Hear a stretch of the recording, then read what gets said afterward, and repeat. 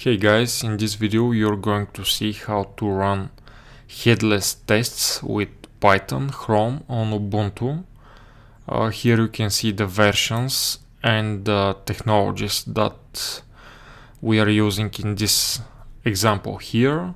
So we have Ubuntu 18, we have uh, the latest Chrome driver 41, Python 3.7 and this uh, version of Selenium we have three steps installing Selenium module, then ensuring Chrome and Chrome driver, and finally running the test, which is uh, these few lines of code.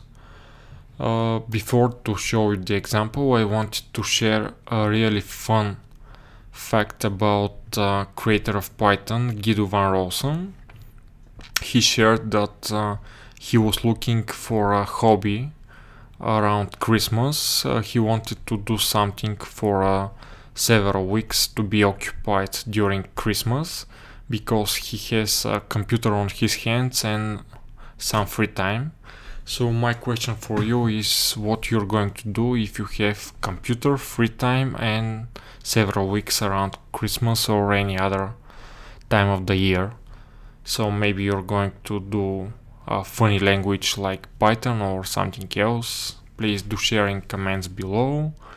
And let's go back to our example with Selenium headless mode. So first we need to install module Selenium.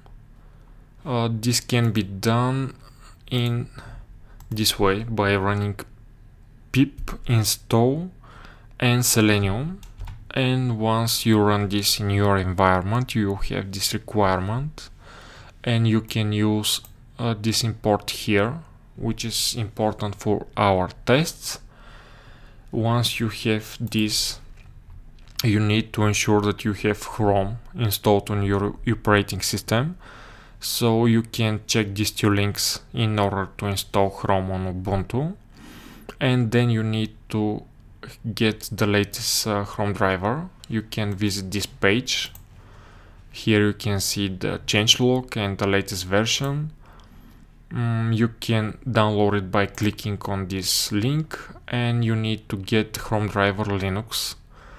Uh, once you download this link here, you need to extract the link and use this path in your program.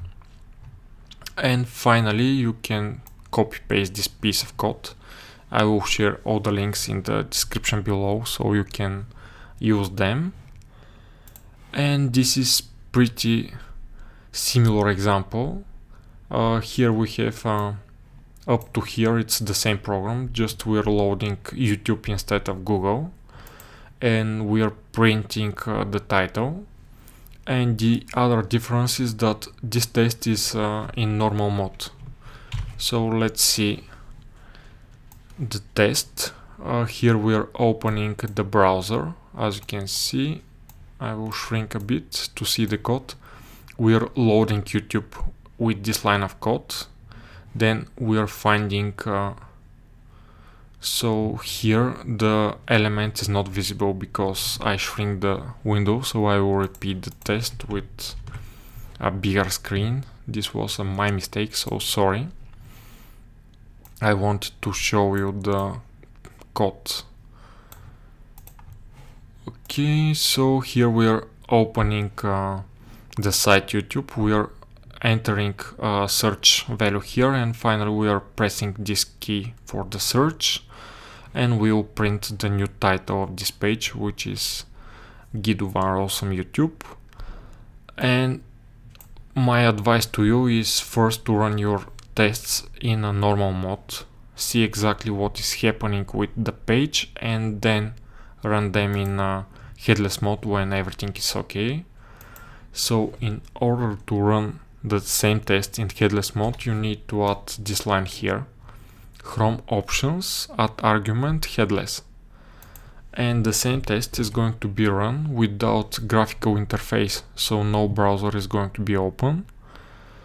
And this uh, headless mode is very useful when you don't have a graphical user interface. For example, you're using uh, Ubuntu server because there you don't have uh, any graphical interface or when you want to have uh, speed and good performance and this is very the best use case for headless tests at least for me if you want to uh, find which element you need to uh, open. For example uh, how to find this element you can use a Katalon which is the uh, next uh, mm, Selenium IDE for 2019 let's say. I will show you uh, what is uh, Katalon Studio.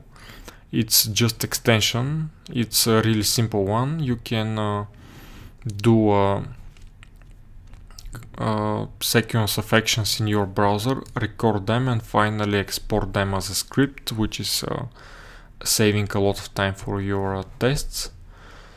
And once you install it you can create um, more complex tests with uh, Selenium. Mm, here you can see also a small use case for a Katalon or Selenium how to locate any element from text. So this was uh, the video about headless mods. I hope that you enjoyed. If you have any questions or uh, ideas for uh, videos please do share them in the comment section below. And if you like the channel please do subscribe. Thank you for watching and see you next time